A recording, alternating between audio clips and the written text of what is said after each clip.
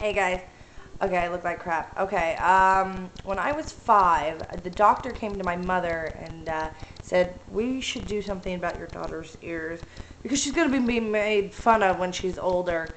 And my mother came to me and is like, Noelle, do you want us to do something with your ears? And I said, No, they make me me.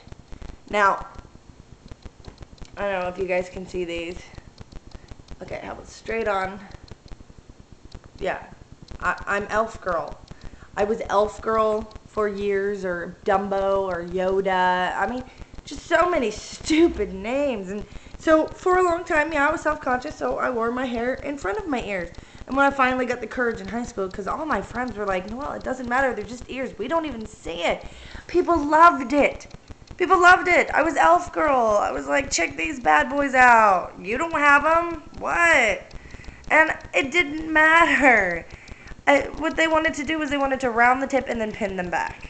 I think that would be just awkward. Now, if it was on the face, I could understand it as a mother um, doing that. I mean, my son now has like this little lump on the top of his ear. It's kind kind of makes it look pointy.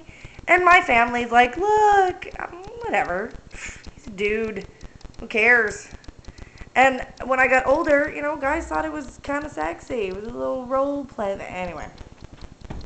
So I think the mother should be slapped. I think the daughter should be taken seriously and honestly ask what she wants. Because I'm still alive. I was I still had tons of friends. I had boyfriends. And it, the ears thing didn't even come up. My husband now is like, I don't see your ears.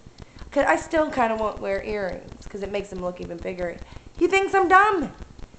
He thinks I'm just dumb because he doesn't see it. Uh, it's only me, and it's because of people like that woman that's going to give that that little girl a complex. Not not other kids. That's just dumb. Anyway, I had to comment because she should be slapped. Seriously.